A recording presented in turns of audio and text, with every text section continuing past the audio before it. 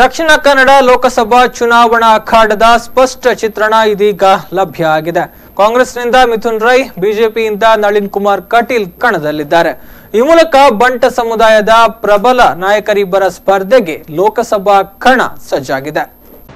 ದಕ್ಷಿಣ ಕನ್ನಡ ಜಿಲ್ಲಾ ಕಾಂಗ್ರೆಸ್ನಲ್ಲಿ ಮೊದಲ ಬಾರಿಗೆ ಯುವ ಅಭ್ಯರ್ಥಿ ಮಿಥುನ್ ರೈ ಸ್ಪರ್ಧೆ ಮಾಡ್ತಾ ಇದ್ದಾರೆ. ಮೊದಲ ಹಂತದ ಚುನಾವಣೆಗೆ ನಾಮಪತ್ರ ಸಲ್ಲಿಸಲು ಮಂಗಳವಾರ ಕೊನೆಯ ದಿನವಾಗಿದ್ರು ಇಂದು ವಿವಿಧ ರಾಜಕೀಯ ಪಕ್ಷದ ಅಭ್ಯರ್ಥಿಗಳು ನಾಮಪತ್ರ ಸಲ್ಲಿಸಿದ್ರು. ನಾಮಪತ್ರ ಸಲ್ಲಿಕೆಗೂ ಮುನ್ನ ನಗರದ ವಿವಿಧ ದೇವಾಲಯಗಳಿಗೆ ಭೇಟಿ ನೀಡಿ ಮಿಥುನ್ ರೈ ವಿಶೇಷ ಪೂಜೆ ಸಲ್ಲಿಸಿದ್ರು. ನಗರದ ಕುದ್ರೋಳಿ ಕ್ಷೇತ್ರ, ಬಂದರು ಮಸೀದಿ, ರೊಸಾರಿಯೋ ಚರ್ಚ್ಗೆ ಭೇಟಿ ನೀಡಿ ವಿಶೇಷ ಪ್ರಾರ್ಥನೆ ಸಲ್ಲಿಸಿದ್ರು. ಇನ್ನು ಮಂಗಳೂರಿನ ಕುದ್ಮುಲ್ ರಂಗರಾವ್ ಪುರಭವನದಲ್ಲಿ ಕಾರ್ಯಕರ್ತರ ಬೃಹತ್ ಸಮಾವೇಶವನ್ನ ಹಮ್ಮಿಕೊಳ್ಳಲಾಗಿತ್ತು.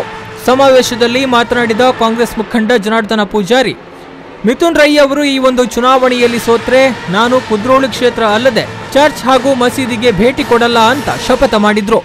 ಒಂದು ವೇಳೆ ಇವರು ಗೆಲ್ಲದಿದ್ರೆ ಕುದ್ರೋಳಿ ದೇವಸ್ಥಾನಕ್ಕೆ ನಾನು ಹೋಗುವುದು ಇನ್ನು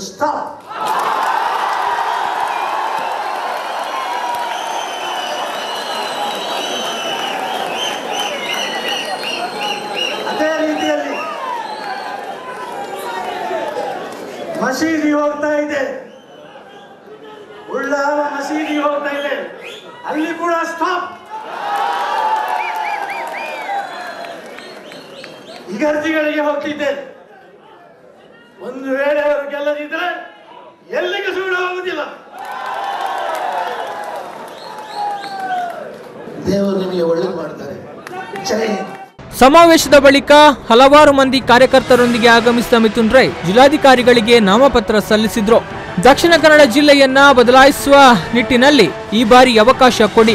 ಲೋಕಸಭಾ ಚುನಾವಣೆಯಲ್ಲಿ ಯುವಕರ ಧ್ವನಿಯಾಗ್ತೇನೆ ಯುವ ಜನಾಂಗ ಸರ್ವ ಜನಾಂಗದ ಅಭಿವೃದ್ಧಿಗಾಗಿ ದುಡಿಯುತ್ತೇನೆ ಅಂತ ಮಿಥುನ್ ರೈ ಹೇಳಿದ್ರು.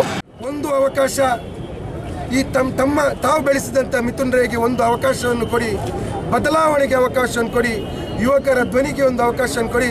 ದಕ್ಷಿಣ ಕನ್ನಡ ಜಿಲ್ಲೆಯ ಧ್ವನಿಯಾಗಿ ಲೋಕಸಭೆಯಲ್ಲಿ ಪ್ರತಿನಿಧಿಸುವಂತಹ ಒಂದು ಅವಕಾಶವನ್ನು ಕೊಡಿ ಎಂಬ ಮಾತನ್ನು ಇನ್ನು ಕಾಂಗ್ರೆಸ್, ಬಿಜೆಪಿ ಎರಡೂ ಪಕ್ಷಗಳ ಅಭ್ಯರ್ಥಿಗಳು ನಾಮಪತ್ರ ಸಲ್ಲಿಸುವ ಮೂಲಕ ದಕ್ಷಿಣ ಕನ್ನಡ ಅಖಾಡದ ಚಿತ್ರಣ ಸ್ಪಷ್ಟವಾಗಿದೆ.